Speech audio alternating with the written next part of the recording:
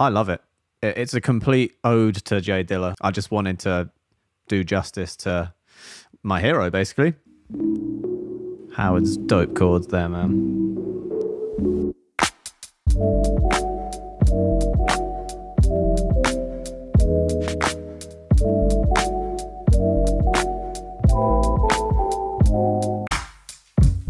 That's Howard going in.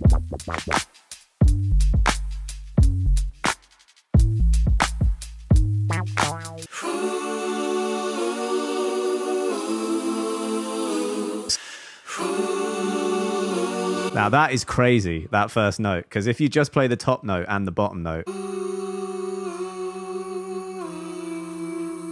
and mate, that just comes from Howard listening to Take Six for hours and hours.